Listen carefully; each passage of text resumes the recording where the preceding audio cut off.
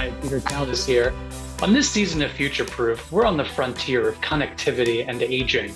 As we head into the winter months, which typically show increased social isolation and loneliness, this year brings special concerns as we continue to be forced apart due to the pandemic. This month's Future Proof, an ASA studio production, looks at the amazing technological innovations that could change the way people come together. Join us each week of November as we interview innovators and experts in aging who have big stories to tell.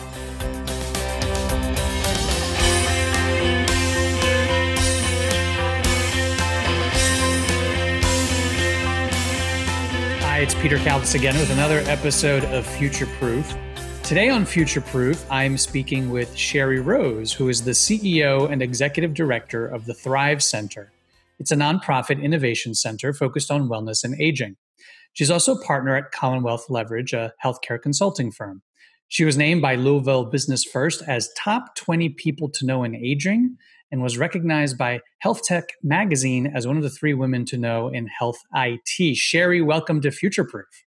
Thank you. Glad to be here. So, today, Sheri, I want to talk to you about how the Thrive Center is working to keep older adults connected, particularly now as we're in sort of the holiday season.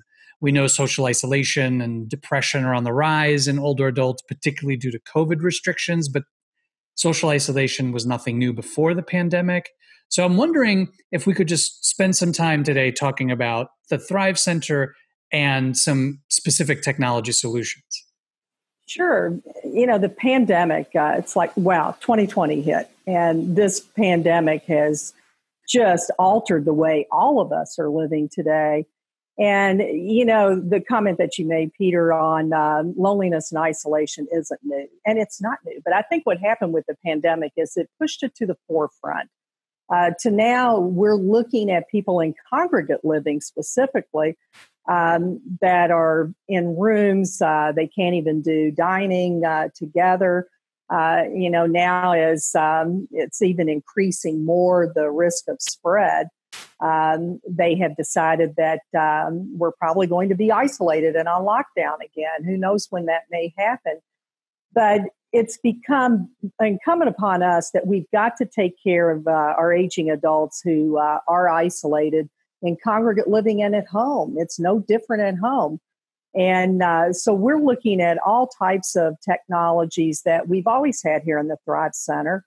Um, and we created the Thrive Center because it is that immersive experience where you can come and feel and touch. That's but, yeah, that's what I was hoping we could we get started on because I'm not so sure many of our ASA members are familiar with the Thrive Center or the Thrive Alliance. Could you just let's start there? Let's start at that okay. at, the, the, at the top there.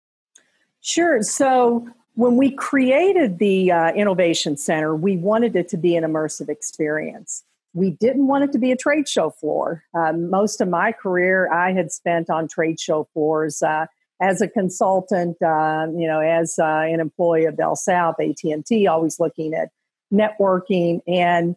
Um, and I, I, quickly learned that a lot of times on a trade show floor, you'll see a product that you can't really drill down and get the feeling of how it really works in an enterprise or maybe even in your home. And so when we created the Thrive Center, we said we wanted that experiential center where that person can come through, be it a provider uh, out in the industry, uh, or one of their residents, or someone at home who's providing care to an aging parent, or that aging parent to come in and think, oh, wow, these are technologies I could use. They get to touch it, feel it, and experience it. Um, and so, you know, there are various technologies in here from the posit science um, brain where you can go and do um, speed of processing. Uh, we put it on a 55 inch rather than a tablet so they can walk up to it and play with it. Um, focal point um, of the Thrive Center is our smart home. And we have architects who come in now and they look at, you know, how do we design for the future? We call it human centered design, but simple things um, that maybe people don't think of, uh, but an induction cooktop. Um, and why is that important? You don't have to worry about someone burning themselves touching it. Uh, if you leave a pan on the stove and you remove it and then you leave the stove on, that induction will turn it off. Uh, smart refrigerators, uh, a smart mirror that can um, you can put um, medication reminders on there, the weather outside, scroll maybe a CNN update. There are so many technologies in the home, and so we designed it and created it where they could walk into the home and think, "Gosh, this could be my smart apartment." Uh, from that's great because it's really hands-on and practical, right? It's really about seeing themselves use this technology that's geared towards towards them. And I'm wondering, these kinds of experiences, how are they impacted by COVID? And how did you have to pivot during the pandemic? Yeah, I mean, that was interesting because uh, we were, um, so I'll tell you a little bit of what we do with the technologies. We build programs around them. That's how we drive adoption. That's also how we get uh, community members engaged in what these technologies can do for them. Um, so I'll give you an example. One was our Strive to Thrive program uh, around mobility. Um, we use a technology here called Virtue, Virtue Balance, and we can do gait and balance assessments. And we have partnered with a university here in town, and their PT doctoral students train here. We're a service learning center. We bring individuals from the community in, we identify them if they're a fall risk, and then we enter them into that program. Um, and when the pandemic hit, we had to stop midstream. So students were sent home. We all remember those days. It's just like everything started shutting down, one thing right after the other. And um, so when the students came back on campus here this semester, uh, Dr. Quinn with Bellarmine University called and said, I don't want to be greedy, but I can't get my students into hospitals or into in, any of the senior living communities, and they need that hands on training. She said, What do you think about bringing them in and continuing with uh, Strive to Thrive? And my comment to her was, I think we can have people at home, uh, lonely and isolated, and declining not only physically, but cognitively declining. And if they're not getting out and they're not getting that exercises, uh, exercise, and muscles are uh, starting to atrophy, it's more important for us to bring them in and take precaution with masks and sanitizing and social distancing to work with those students. And um, but we scaled it back where we would normally in a semester have 14 to 15. We have uh, three people in here twice a week. And those students are learning from them and uh, they're getting the benefit of teaching core body strength and gait and balance. And so it's, um, and they wanted to come back. Um, chair yoga, we had to eliminate that. Uh, we were in the middle of a National Institute on Aging Bingocize study, and we had to stop midstream of that. Well, you know, when you're into a research study, uh, what happened is um, we invalidated the study. At some point, we may pick back up on it, but they did agree to pay those um, community members who were coming in and were a part of that study. Um, but on the chair yoga, uh, these older adults called us and said, Could we please come in? We're tired of being cooped up in our house. And so we said, Sure, we'll social distance. We have uh, Theora Clear. It's technology that's uh, a touchless body temperature scanner here. So it comes in, it reads your eyes and your forehead, it asks you the CDC questions, and it prints out a perforated badge just to tell you you passed. And so we do take precautions, but they come in two days a week and uh, they're getting uh, the chair yoga exercises. So it's these older adults that are reaching out to us. Right. No, and, and it's great that you've been flexible and nimble to provide as much of your services during the pandemic as possible. I want to focus on on two services though that are uh, that seem to strengthen connectivity. One um, relates to writing. Um, mm-hmm. Specifically, I think it's called Feet to the Fire workshops. Could you talk a little bit about that?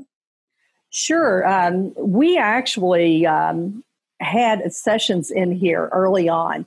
We partnered with uh, Louisville's Fund for the Arts, and we did two six week sessions. One was actually on a Saturday, one was during the week.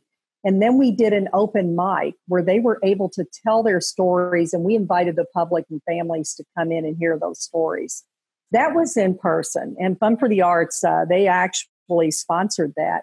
Um, but what's happening now with those writers' workshops is it has to be done virtually uh, because you can't do the in person uh, where you have a lot of them in there. So they can use uh, Zoom.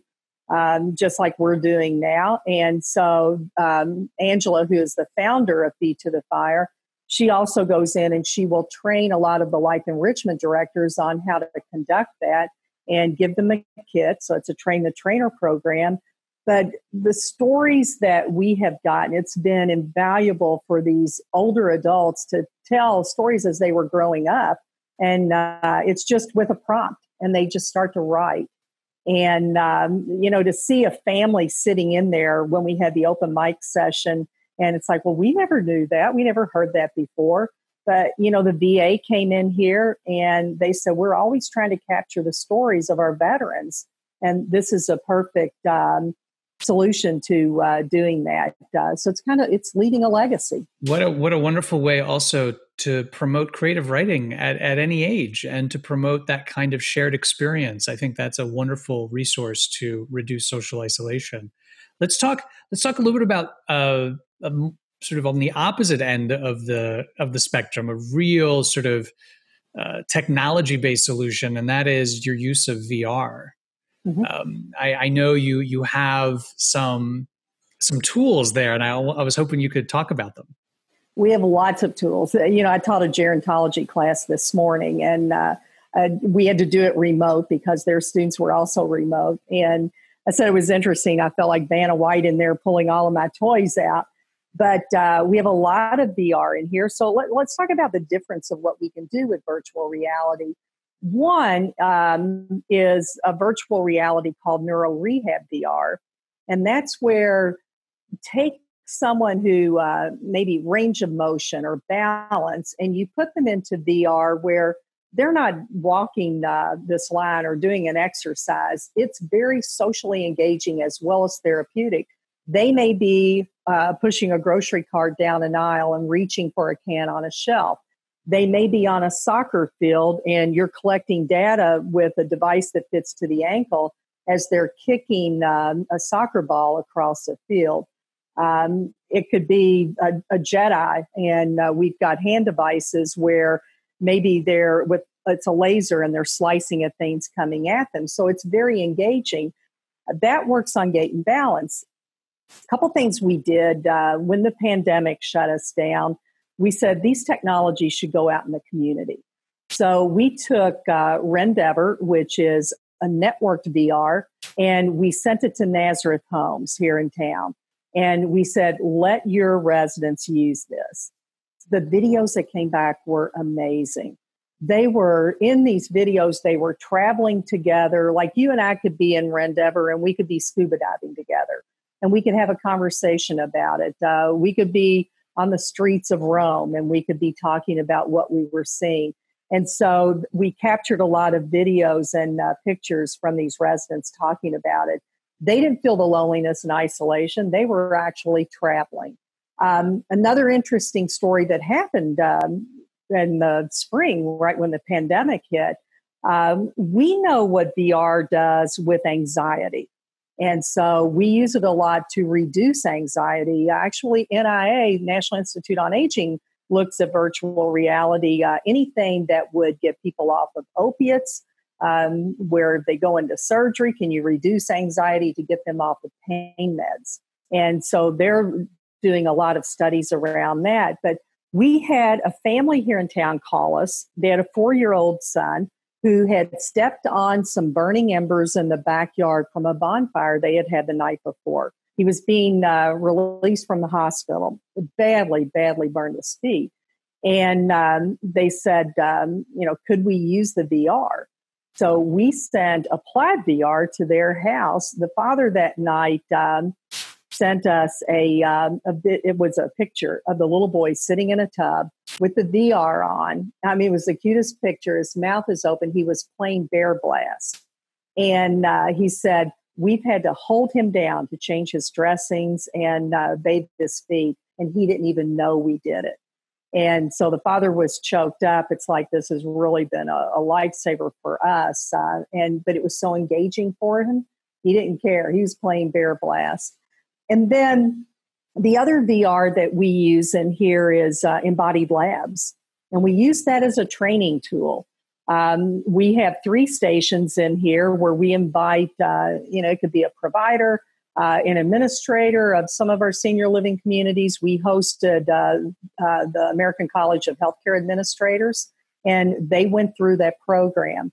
And you can embody a person called Beatrice who has Alzheimer's disease. You see what she sees, you hear what she hears, and you you get to you get the feeling uh, of what it's like to have Alzheimer's. Uh, it talks about the brain and what's happening in the brain. Um, you know, we've done Lewy body syndrome associated with Parkinson's in here. I actually had someone come to me, and we had a third grade class in here, and uh, they had a project for the year on aging. And so I thought, well, this is really going to be different. I deal with uh, providers and older adults, but uh, I had a whole third grade class and we put a little girl into uh, Lewy body syndrome. And these kids, we projected it on the screen in our event space, and these kids were mesmerized.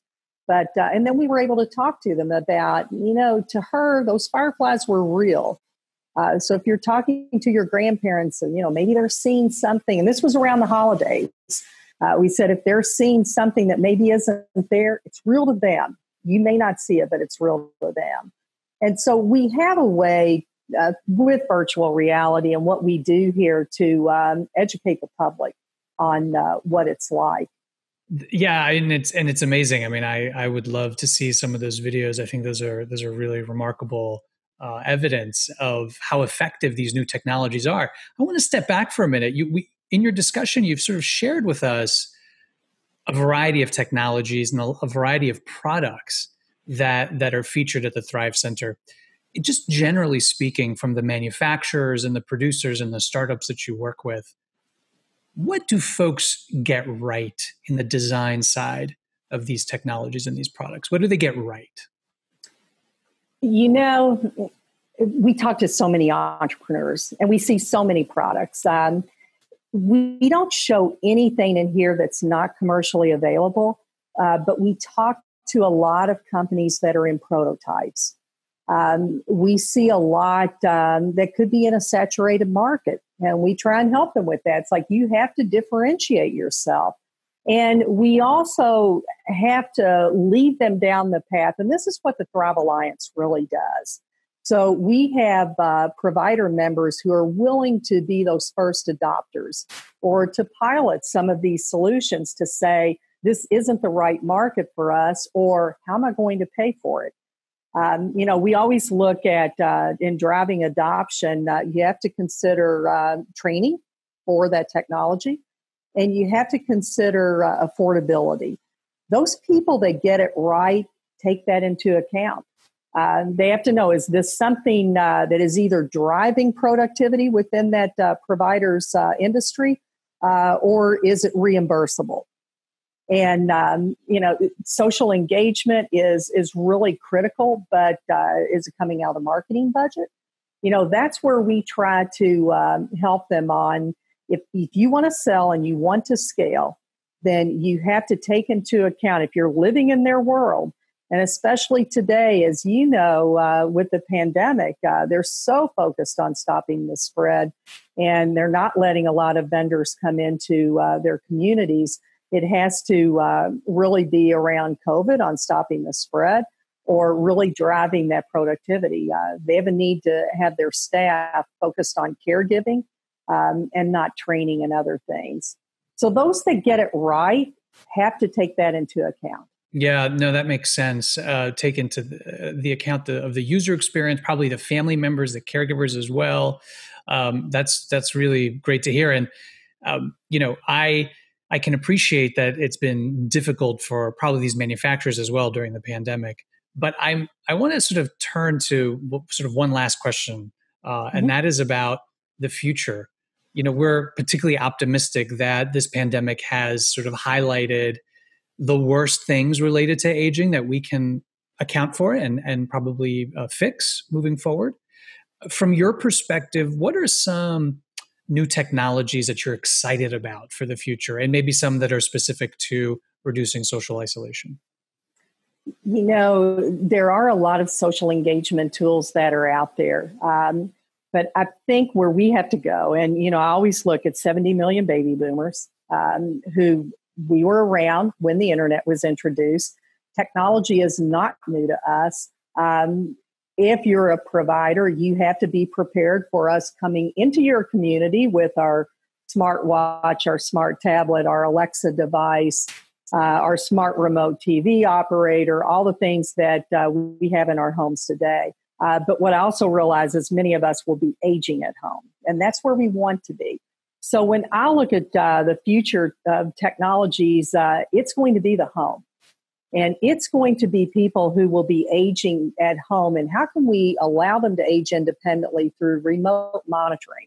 You know, now we look at ambient sensors because, you know, when you think about dementia, um, and I've talked to entrepreneurs that'll say, well, we can put a wearable on them and we can lock it down. They won't get it off.